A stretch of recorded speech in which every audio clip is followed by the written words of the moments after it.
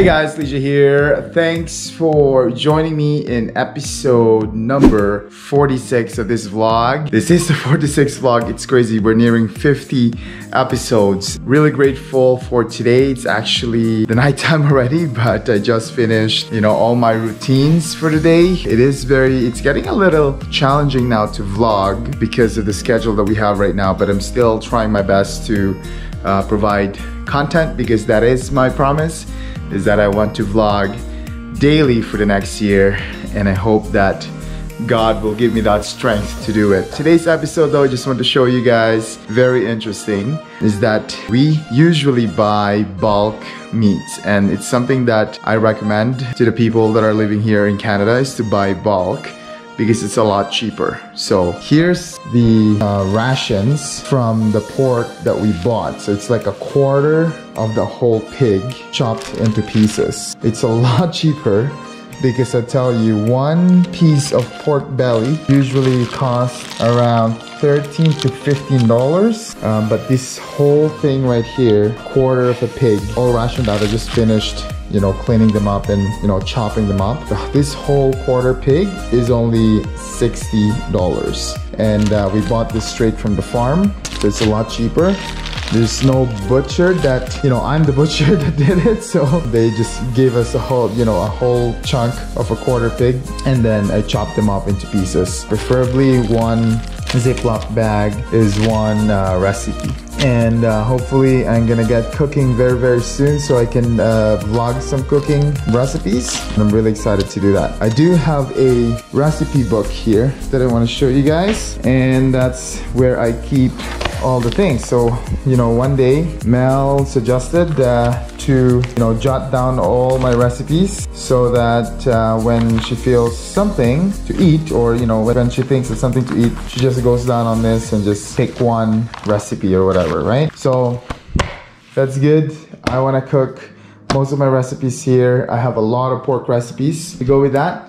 So that's what I'm gonna do. And the other thing too that I want to show you today's vlog is this awesome underlight counter that uh, I installed. So there's no light right now. It's kind of dark, right? But when you wave your hand like this, ta-da, it lights up. So that's something that I did today as well. Okay, there we go. So it's motion sensor activated underlight cabinets. So it's really, really cool. I love it. It's something that I was thinking to do for the longest time. Didn't really have time to do it, but now it's officially here. It's beautiful. And uh, I bought them from Costco as usual. It's really cheap. I actually have the box right here. I'm gonna show you. And again, it's from Costco. I actually have an extra one. Here. Right here. You guys are interested? That's the light right there called Artika. Artika light. So it's motion activated. It says hold to dim. I ha actually haven't tried that feature yet. But uh, let's see if it actually dims down when you hold it. So when you hold it, it didn't dim. Why is it not dimming down? Come on, dim down, you dim dim. it's not, it's not dimming down, so what else? Really nice though, really love it. Uh, but yeah, that's pretty much the crazy things that's happening. Kids already asleep. Uh, we are trying to put them to bed early because obviously we're, you know, we, we need to wake them up early as well for school. So it's something that uh, we're, we're trying to implement right now. We are very lenient on them when it comes to their bedtime for the past three, four months, four, three months or whatever, because obviously they're not going to school and that uh, they're just staying home. So they can sleep late, wake up late, doesn't really matter. But now order has to come back. in this household, especially with the kids' um, bedtime. So yeah, that's that's what I did today.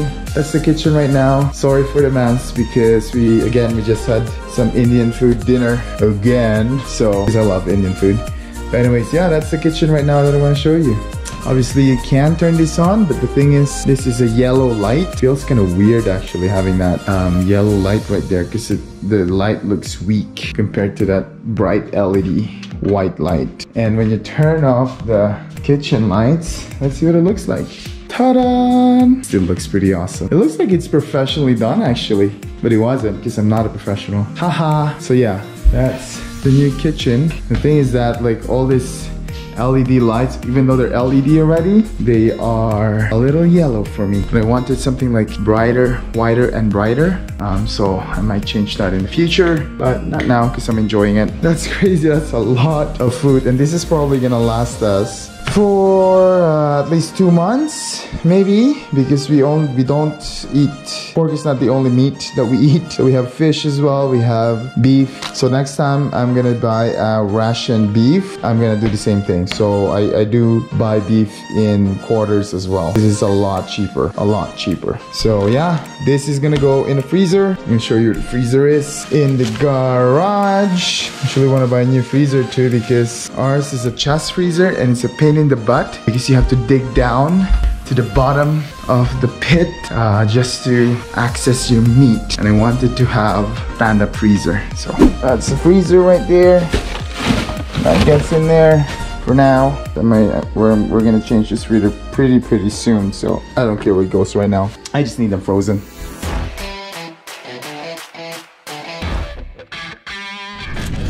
Okay guys, so that's it counter is clean we are ready to go to bed. So before i went to i cooked some pork adobo from that pile of pork that i just uh, chopped chopped. So this is for my parents uh, because they don't eat indian food. For some reason they have the limiting belief that indian food is too spicy for them and that the spices overwhelms their sense of smell um, and I think it's a limiting belief that uh, they don't like the smell but it actually smells good. Um, and I love Indian food. So yeah that's the reason. That's why we always sometimes we have to cook two different meals or if I do takeouts, especially from Indian food or um, Lebanese food or something Middle Eastern, they don't eat that kind of stuff, too much parsley or too much cilantro for them. So I uh, cook a different,